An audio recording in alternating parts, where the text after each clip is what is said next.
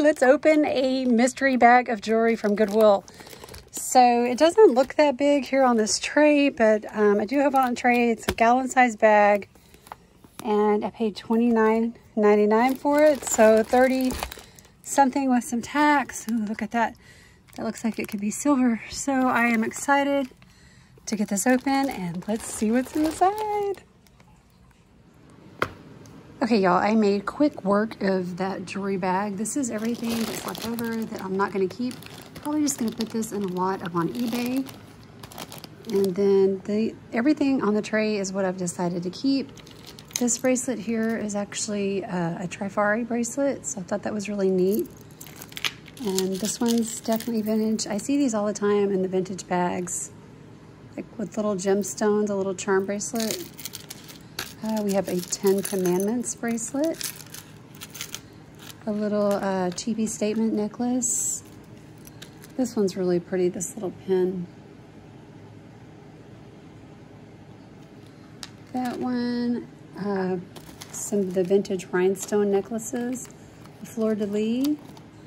I did find some sterling pieces. Um, this one looks like an opal, but I don't, I don't know, it's not sticking to the magnet, but I'm also not seeing any sterling marks on it. This one is marked sterling. Looks like some kind of a garnet. Really pretty.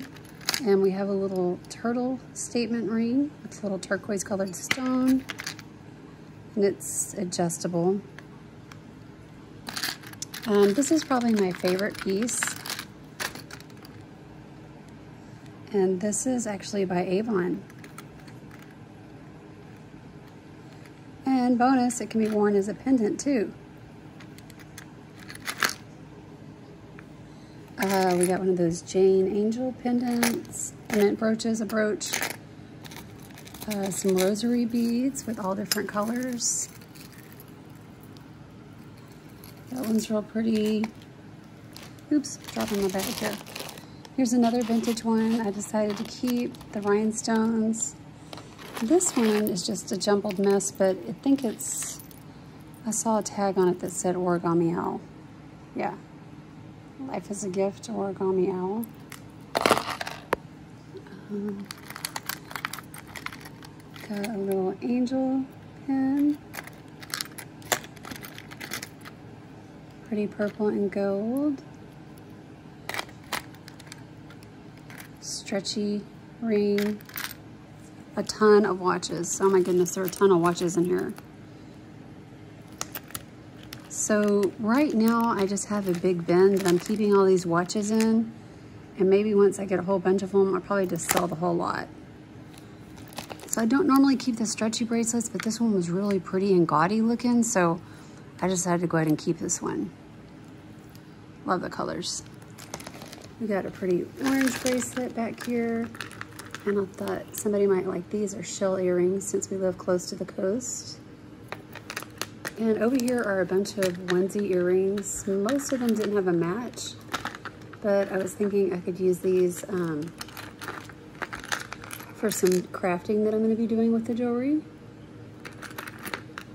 This, these, like, see the red ones, these studs have the matching, matching set. I don't think they're sterling, but they're really pretty. And yes, you can still see that red from my other color I had on my nails that drives me nuts. I'll never get red again. uh, some more watches.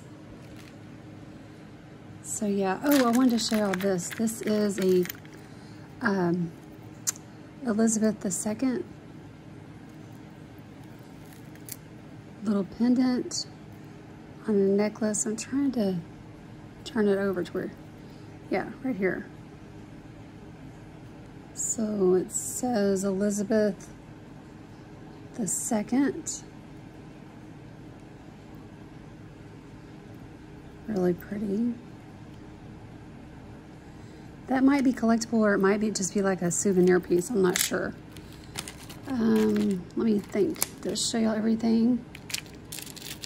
I'm definitely going to keep the strand of pearls back here because I can tell it's an older set just by the way the clasp is. So it's three strands. So love that. Um, what else? Oh, this one, I'm keeping this one because it says Monet on it. It's real pretty black and gold necklace.